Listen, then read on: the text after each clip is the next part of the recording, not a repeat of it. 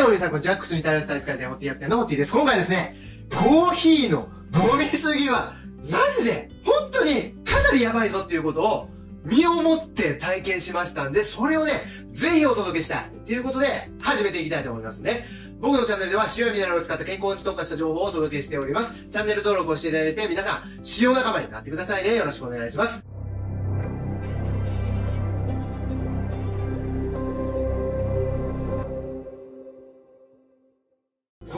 ですね、あの、お客さんとこの挨拶回りとか、あと取引先とかの挨拶回りをさせていただいたり、新しい商品開発のご挨拶をさせていただくっていう機会が一日あったんですけど、朝、ちょっとコーヒー飲みましたよ。そして出て行って、一軒目のお客さんのご挨拶のところで、またね、コーヒーが出てきたんですよ。やっぱりコーヒー出てくるんですよね。コーヒー飲みますかって言われて、あ、はい、お願いしますって言って、まあ2杯目飲みました。そして、打ち合わせが終わって、お昼行きますかって言われて、あ、あ、ぜひじゃあよろしくお願いしますって言って、近くのうどん屋さんに行ったんですよ。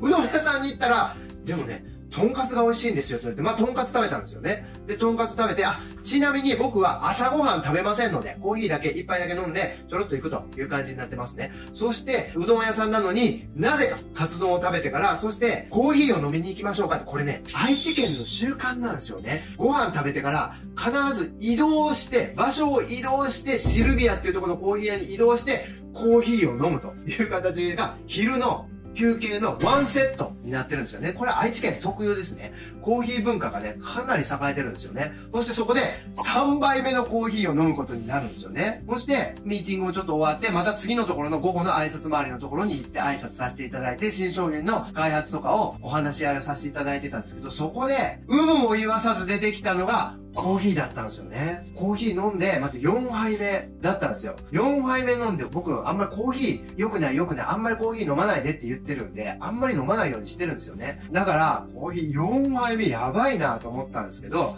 まあ、打ち合わせだから1日ぐらいいいかと思って飲んだんですよ、4杯目。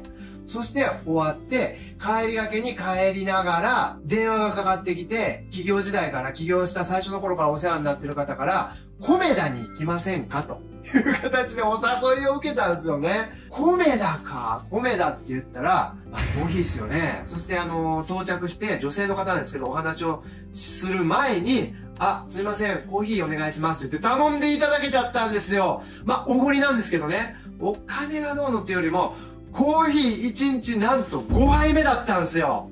やばいな、これはと思って、5杯目飲んだ後に、ミーティングも終わって帰ってたんですよ。そしたらブブーって帰ってたら、まずね、車の中なんですけど、めちゃくちゃ寒い。めちゃくちゃ寒い。足先、手先がめちゃくちゃ寒くてしょうがない。うわ、カフェインってやっぱね、冷えるんだーと思ったんですよね。そしてね、その1日の中で、よく考えてみたら、6、7回おしっこ行ってるんですよ。トイレめちゃくちゃ行ってます。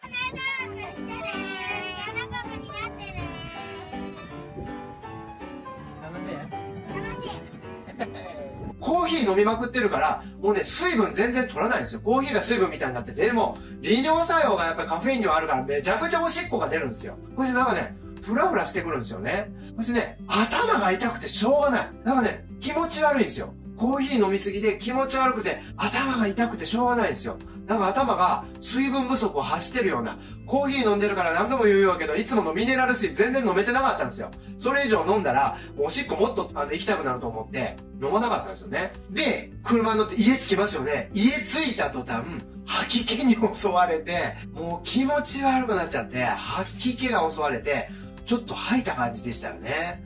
だからね、やっぱコーヒーって、飲みすぎは絶対やばいですよ。1日5杯とか飲んでる人は本当にやばい。カフェイン中毒っていうのがあるぐらい、やっぱりね、カフェインはやっぱり冷えるなーっていうのをすごく感じましたね。そして、気持ち悪くなるなーっていうのを感じた。あと、頭痛くなるなーっていうのを感じました。最後に、おしっこめちゃくちゃ行きたくなりますよ。利尿作用が凄まじいパワーあるなっていう風に感じたんですよね。だからコーヒー飲みすぎ、カフェインの量は取りすぎですよ。カフェインの取りすぎは本当に避けてもらいたいなって、マジで思いましたね。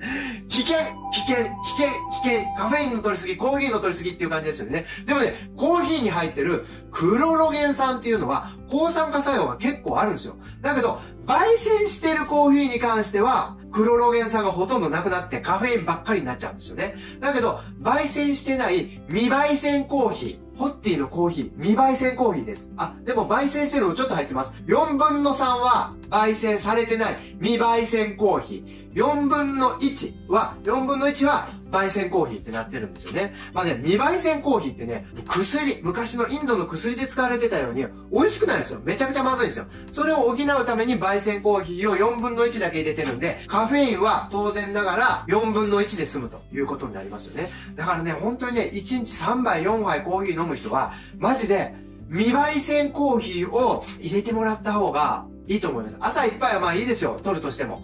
そしてね、未焙煎コーヒーを4分の3、4杯中3杯は、このホッティの未焙煎コーヒーにしてほしいなと思います。飲み方は簡単で、コップを用意しますよね。コップに、このホッティの未焙煎コーヒーを入れます。こんな感じなんですよね。見えます？これ。こういうパウダーみたいな感じです。パウダー状のをコップにポッと入れます。見たらこんなぐらいです。結構少ないですよね。まあほんとちょっとでいいんですよ。ちょっと入れてもらって、そしてお湯をもうほんと少なめでいいです。コーヒーめっちゃガブ飲みしたいっていうよりも、大体の人はちょっと口寂しいから飲むとか、ちょっとこう、スッキリさせるために飲むっていう、ほんとこれぐらいな感じですね。見えるかなこれ。こんな感じです。こんな感じですね。これぐらい入れれば十分なんですよね。これを1日の1杯目以外はこの見栄え煎コーヒーにしてもらええればなと思います。そしたら、抗酸化作用のあるクロロゲン酸っていうのが焙煎されてないのは生きてます。焙煎してるのは全部飛んじゃってますんで、未焙煎コーヒーは抗酸化作用、このコーヒーを持ってるんですよね。そしてね、こういうのって、いろんな玄米コーヒーとか、なんちゃらコーヒーとか、タンポポポコーヒーとか、あるじゃないですか。美味しくないですよね。うちの嫁もね、妊娠中はね、あの、タンポポコーヒーとか飲んでて、僕も飲んでたんですけど、やっぱ美味しくないです。全然美味しくない。コーヒーっていう感じがしないです。でも、このホッティの未焙煎コーヒーは、有機コーヒー豆を使ってるんで、めちゃくちゃ味わい深いです。美味しいんですよ。美味しくて体にいいコーヒーってなかなかないんですよ。そしてね、未焙煎コーヒーって結構ね、お値段高いんですよね。だけど、体にやっぱり優しいんですよ。なので、ホッティの未焙煎コーヒーを本当にね、飲んでほしいなと思います。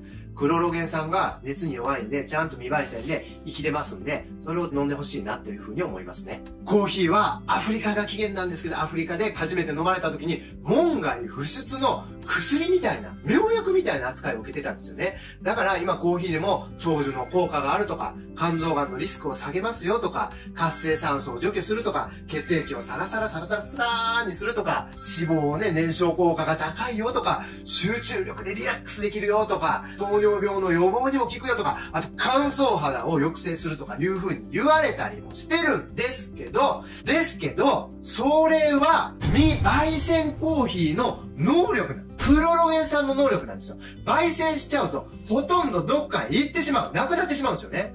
なので、未焙煎コーヒーを本当にぜひとも皆さんにとってほしいって思いますね。一杯目のコーヒーは美味しいやつがいい。豆を自分で引いて絶対入れてるよっていう方はそれを飲んでくださいよ。そして、その後は、ホッティの未焙煎コーヒーを飲んでくださいよ。そしたら、健康に、元気にコーヒーライフを送れることになると思います。ではまた